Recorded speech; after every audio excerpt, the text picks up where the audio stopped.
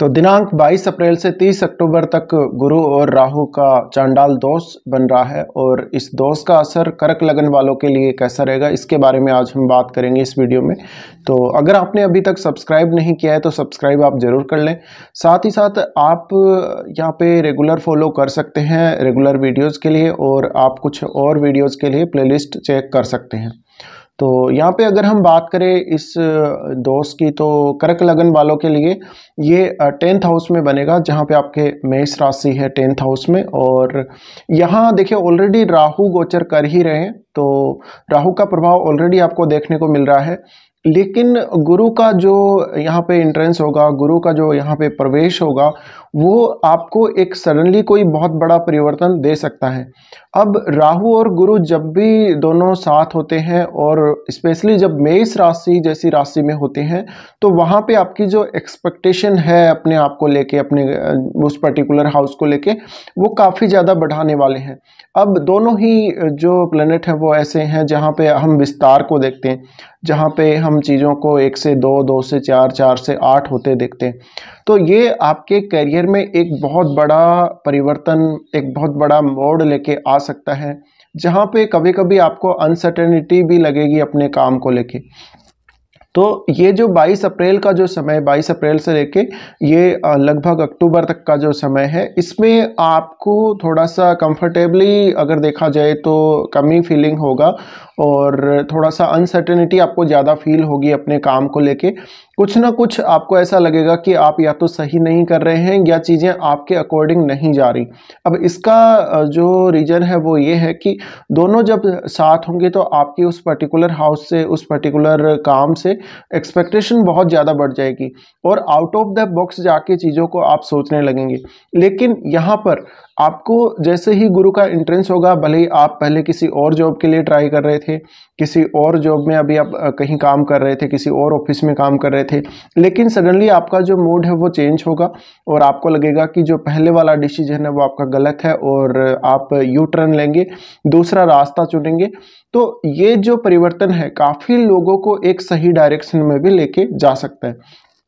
इसके अलावा आपको अपने देश में ही रह के काम करना या विदेश जाना है, इसका डिसीज़न भी आप इस कोचर में लेने वाले हो। तो अब क्या इसका मेन असर आपको देखने को मिलेगा? देखिए, यहाँ पर कभी कभी आप थोड़ा ओवर ट्राई भी कर सकते हैं। करियर के मामले में अगर देखा जाए तो बहुत ज़्यादा अनसर्टेनिटी आपके मन में होना, आपके बॉस के साथ जो आपके रिलेशंस हैं, उनको लेके थोड़ी सी अनसर्टेनिटी आपके मन में उत्पन्न होना, आपको ये नहीं पता लगेगा कि आपका बॉस आपके बारे में क्या सोच रहा है, या वो आपके बारे में कुछ गलत तो नहीं सोच रहा है, या वो आपको निकालने के लिए तो कुछ नहीं सोच रहा है। और यहाँ पे एक सडन चेंज तो होना ही है आपके करियर में। अब वो चेंज बहुत बढ़िया भी हो सकता है आप लोगों के लिए, या वो कुछ हद तक आपको यहाँ पर परेशान भी कर सकता है कुछ समय के लिए। तो यहाँ, अब जो स्टेबिलिटी की अगर हम बात करें तो यहाँ स्टेबिलिटी नहीं दिखती है और आपको लगेगा कि आपको जो सैलरी मिल रही है या जो आपको प्रमोशन वगैरह सही समय पे नहीं मिल रहा तो इस प्रकार की कुछ ना कुछ आपके मन में धारणाएँ रहेंगी और आपकी कुछ इस प्रकार की अंदर से एक्सपेक्टेशन आपकी निकल के आएँगी। जो हो सकता है बहुत ज़्यादा सही भी हो तो बहुत ज़्यादा वो गलत भी हो सकती हैं। लेकिन यहाँ गुरु का साथ मिलना एक सही डायरेक्शन आपको अवश्य देखने को मिलेगी। तो प्रॉपर तरीके से जो भी लोग अभी कोई नए जॉब के लिए प्लान कर रहे हैं, उनको एक प्रॉपर प्लानिंग करनी चाहिए और स्पेशली आपके के लिए। 22 तारीख के बाद अगर आप प्लान करें तो ज़्यादा अच्छा रहेगा। इसके अलावा आप एक बारे, एक बार में आप अपने एक ही जॉब के बारे में सोचें। एक बार में ऐसा नहीं कि आप बहुत सारे काम एक साथ कर लेंगे। कुछ लोग हो सकता है जिसमें ये जो युति है वो आपको थोड़ा ओवर ट्राई करने का चांस दे सकती है। या कभी कभी आप बहुत ज़्यादा ओवरली कोई काम को करेंगे ओवर टाइम किसी काम को आप करेंगे। तो ऐसा प्रयास ना करें और अपनी जो सीमाएँ हैं उनके अंदर रहें, सीमाओं से बाहर नहीं जाएँ और आप खुद से या किसी भी अन्य व्यक्ति से कोई बहुत बड़ी एक्सपेक्टेशन ना रखें। अब हो सकता है कि बहुत पहले से ही आपका जो करियर है, उसमें काफ़ी ज़्यादा उतार चढ़ाव आ रहे थे।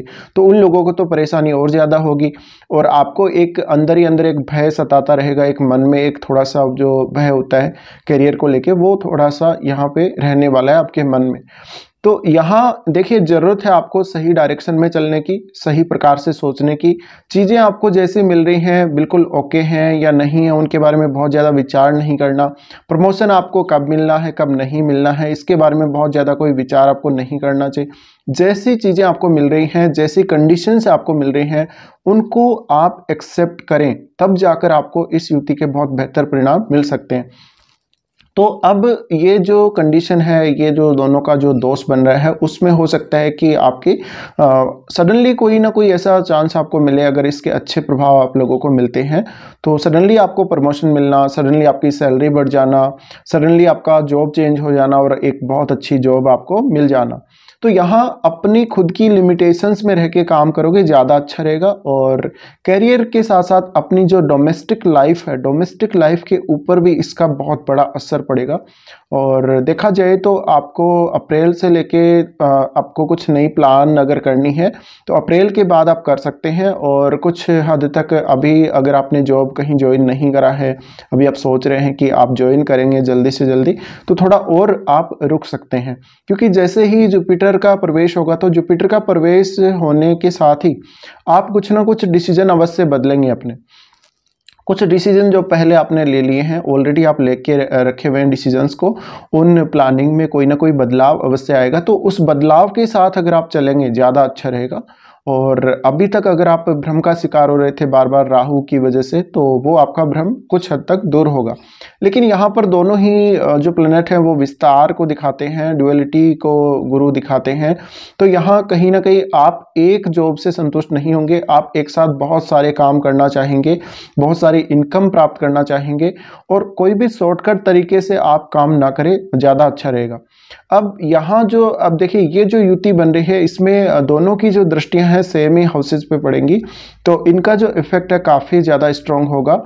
और देखा जाए तो सबसे पहले इनकी दृष्टि आपके सेकंड हाउस पे पड़ेगी, जहाँ पे सिंह राशि है। और सिंह राशि को जब ये देखेंगे तो काफ़ी ज़्यादा हलचल हो सकती है आपके सेकंड हाउस से रिलेटेड कार्यों में। आप ये सोच सकते हैं कि आपको बहुत ज़्यादा अगर सैलरी मिल जाती है, या आपको सैलरी में इंक्रीमेंट लग जाता है, या प्रमोशन वगैरह मिल जाता है तो आपकी सैलरी बढ़ जाएगी, जिससे आप कोई ना कोई अपना बड़ा खर्चा निकालेंगे फैमिली को लेके। तो इस प्रकार की अपेक्षाएँ आप करने वाले हैं इस युति के दौरान। इसके अलावा कुछ ना कुछ ज़्यादा ही आपको यहाँ पे अपनी फैमिली से एक्सपेक्टेशन रहेंगी अपने मामले में कि आपकी फैमिली आपको अच्छे से सपोर्ट करे और कुछ चीज़ें बहुत बड़े रूप में आपको दिख सकती हैं तो यहाँ पे एक लिमिटेशंस में रहना बहुत ही ज़्यादा आपके लिए ज़रूरी हो जाता है। वरना फिर आपको ये आत्मसंतुष्टि जो आपको रहेगी, उसमें बहुत ज़्यादा कमी करेगा और फिर आप कुछ ना कुछ गलती करेंगे या आप गलत रास्ता चुनेंगे, जल्दबाजी करेंगे। जितना आप जल्दबाजी करेंगे, उतना आपको नुकसान होगा यहाँ पे। इसी तरह से अब इनकी जो अगली दृष्टि पड़ेगी, वो आपके फोर्थ हाउस पे पड़ेगी। तो फोर्थ हाउस पे पढ़ने से आपको ये ज़रूरी है कि डोमेस्टिक लाइफ का बैलेंस आपकी करियर के साथ साथ ज़रूर होना चाहिए। इसके अलावा आपकी माता जी के साथ अच्छे रिलेशंस आपको रखने हैं और घर से आप दूर जाना चाहते हैं, अगर विदेश जाना चाहते हैं तो काम के पर्पज़ से ये युति आपको विदेश भी लेकर जा सकती है। इसके अलावा कार्यस्थल में कोई ना कोई बदलाव या जॉब में कोई ना कोई बदलाव आपका जो डोमेस्टिक लाइफ है उसको पूरी तरह से बदल सकता है। इसके बाद देखिए, यहाँ से जो अगली दृष्टि पड़ेगी, वो छठे घर पे पड़ेगी। तो छठे घर पे पड़ने से आपका वर्क प्लेस चेंज हो सकता है, आपको हो सकता है कि विदेश जाना पड़े, आपको कुछ पैसे वैसे कहीं से उधार लेने पड़े, ऐसी कंडीशंस भी आ सकती हैं। और उसके बाद देखिए, अप्रैल के बाद का जो समय, वो आपके लिए ज़्यादा अच्छा अगर आपने कहीं पर लोन वगैरह ले रखा है, किसी विवाद में आप फंसे हुए हैं तो वहाँ पर कुछ हद तक आपको बहुत अच्छी राहत मिल सकती है। अब लेकिन यहाँ पर आपको कुछ अपनी लिमिटेशंस निर्धारित करके काम करना है, क्योंकि ये जो युति बन रही है, वो आपको चीज़ों को बहुत बड़ा दिखाएगी। बहुत ज़्यादा जूम करके आपको चीज़ों को दिखाएगी। और आप उसके बाद अपने मन में बहुत बड़ी इच्छाएँ पाल लेंगे, आप बहुत बड़े बड़े सपने देख लेंगे और कल्पनाएँ करेंगे। तो उस हिसाब से काम होने वाला नहीं है, आपको रियलिस्टिक रहना है और रियलिस्टिक काम अगर आप करेंगे, ज़्यादा अच्छा रहेगा। तो कुछ इस प्रकार के परिणाम आप लोगों को करक लगन वालों को मिल सकते हैं। जब भी ये युति आपके अप्रैल से स्टार्ट होगी।